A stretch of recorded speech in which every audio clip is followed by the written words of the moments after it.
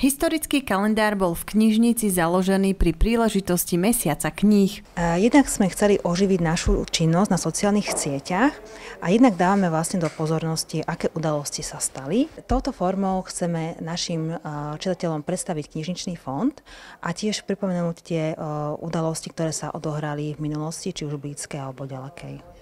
Sú to historické udalosti celosvetové, alebo sa týkajú v podstate iba Slovenska?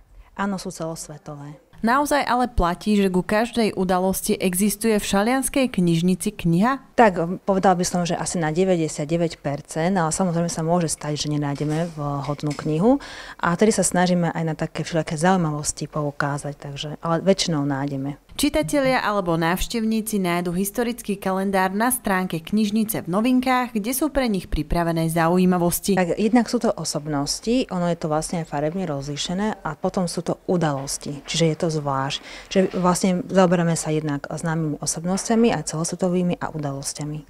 Našim čitateľom určite známy napríklad Irving Stone, ten vlastne mal 14.7 a tak bol to vlastne výročie narodenia, je to americký spisovateľ, takže opäť tu nájdu známe jeho diela, ktoré nájdu aj u nás v knižnici. Michala Matušková, televízia Krea.